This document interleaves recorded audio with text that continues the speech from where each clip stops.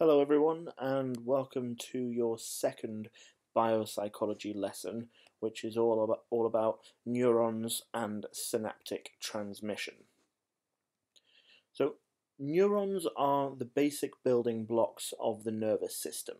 Okay, they are nerve cells that process and transmit messages. You've got over 100 billion neurons in the human nervous system and over 80% of those are in the brain. Now, as I said before, they transmit messages um, and they do that through electrical and chemical transmission. We'll come on to what that means in a little while. Um, and they are the primary means of communication within your nervous system. Okay. Now, there are three main types of neuron. You've got your relay neuron, you've got the sensory neuron, and you've got a motor neuron. Okay, so we're going to start with the sensory neuron. Um, the sensory neuron carry, carries messages from your peripheral nervous system to the central nervous system. So if you think back to last lesson, your peripheral nervous system was all to do with fight or flight, but it was also to do with getting information from sensory receptors and also allowing muscles and other effectors to move and to um, and to act on reflexes, etc.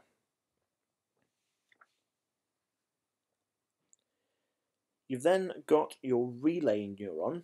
Your relay neuron connects sensory receptors, uh, sorry, sensory neurons to motor neurons or also to other relay neurons, but they're connecting neurons.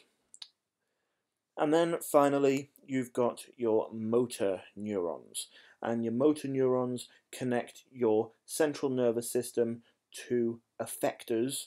Um, and by effectors, we mean things like muscles and glands. The motor neurons are the thing that bring about the response to the stimulus um, by the time the impulse actually gets there. Okay. So you can pause it now if you want and take down a few of the basic notes. Okay, I've just got a little bit of an animation for you so you can see um, how things would move from a stimulus all the way to a response and how the different neurons are actually involved. So you've got a stimulus. Let's say the stimulus is you uh, touch something hot. Um, so pain receptors are then going to be stimulated. That's going to be picked up by a sensory neuron because sensory neurons pick up information from your senses. That's going to get passed on to a relay neuron, which is then going to get passed on to a motor neuron. Remember, motor neurons are connected to muscles, glands, and other effectors. Um, so there are our effectors, and then um, the final stage is then the response of pulling back your hand very, very quickly to avoid any long-lasting damage.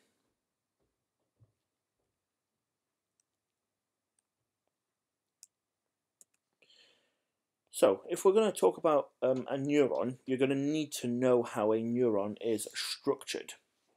And um, these are the these are the main points that you need to know. So, all of those all of those key words that are on the board, you will need to know what they are. You will need to know what they do. So, I'm now going to tell you a little bit about that. So neurons in general vary in size. They can be less than a millimeter long, um, but they can also be up to a meter long as well. But they all share the same structure. You've got a cell body, which contains a nucleus, um, which essentially has the genetic material of that cell in it. Um, there are branch-like structures that protrude from the cell body.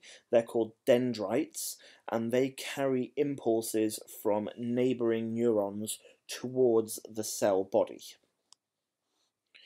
You've got a long axon, which carries an impulse away from the cell body and down the length of the neuron, okay, towards the axon terminals. The axon is covered in a fatty layer which is known as the myelin sheath and that protects the axon and it speeds up the electrical transmission of the impulse. Now if the myelin sheath was continuous it would actually have the reverse effect and it would slow down the electrical impulse.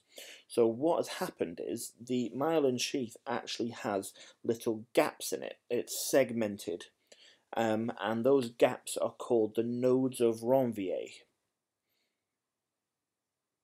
The nodes of Ranvier actually speed up the transmission of the of the electrical impulse by forcing the impulse to jump across the gaps down the axon. So you imagine the impulse actually jumps from node to node rather than um, rather than flowing continuously down the axon. And then finally, at the end of the axon, you've got what's known as the terminal buttons. The terminal buttons um, communicate with the next neuron in the chain across a gap, which is known as the synapse. We'll come to the synapse in a little while. All you need to know for now is that the synapse is what separates one neuron from another neuron.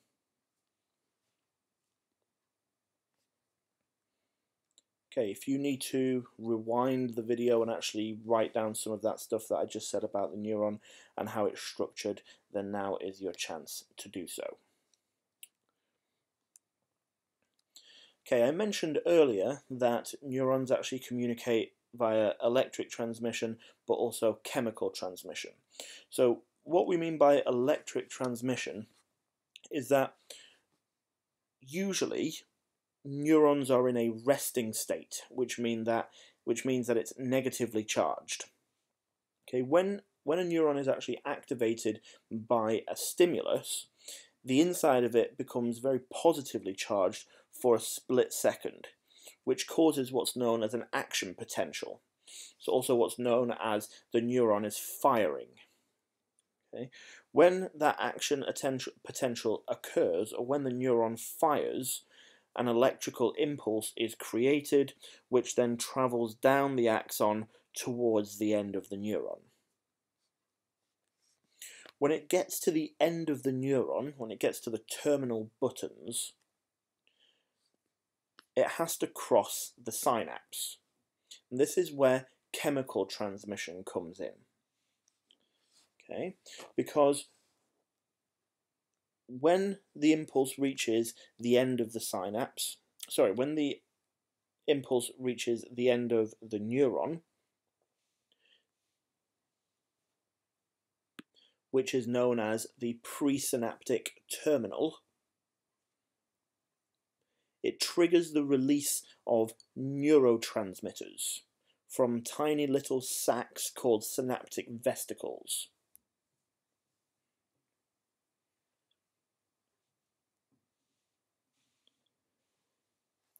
Those neurotransmitters then are released into the synapse and they diffuse across the synapse to the other side where they're picked up by postsynaptic receptor sites.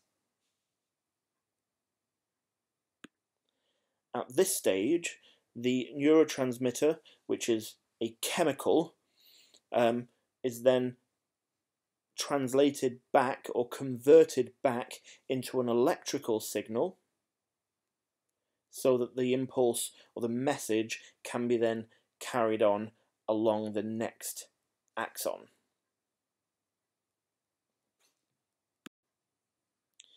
Okay, just to clarify that, because I realise there are a lot of a lot of complex things happening here.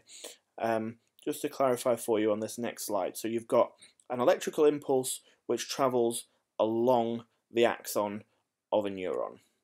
When it gets to the presynaptic neuron, chemical messengers called neurotransmitters are released from presynaptic vesicles and they're released into the synapse. These chemicals then diffuse across the synapse and bind to receptor sites on the postsynaptic neuron. Remember, the postsynaptic neuron is essentially the dendrite of the neighboring neuron. Okay. That chemical message is then converted back into an electrical impulse, and the message then continues to the next neuron in the chain. Okay, and then finally, once the neurotransmitters have completed their task and the message has been passed on to the next neuron, they are then re reabsorbed into the presynaptic neuron so that they're ready for the next impulse that comes down um, comes down the axon.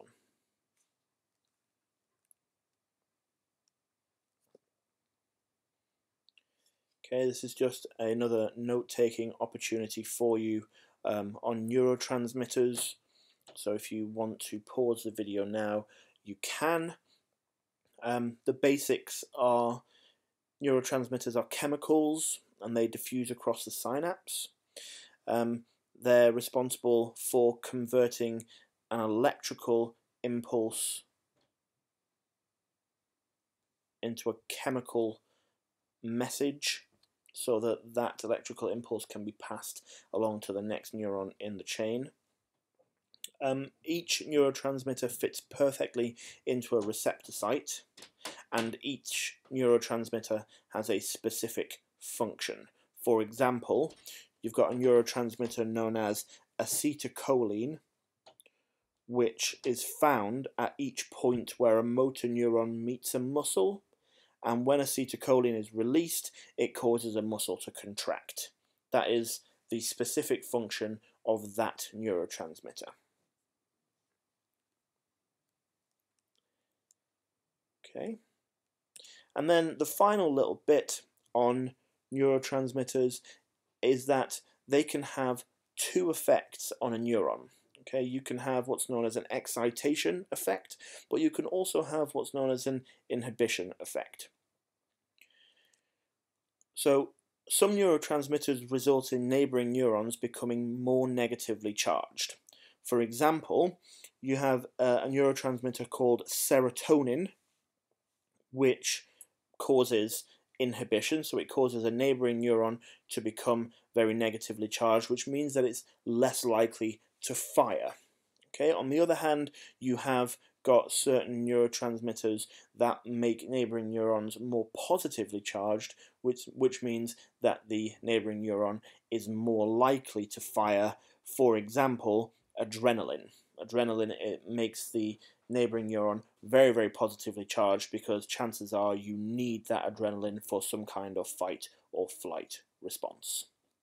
Okay. Right, I hope it hasn't been too complex and too confusing. Good luck with it.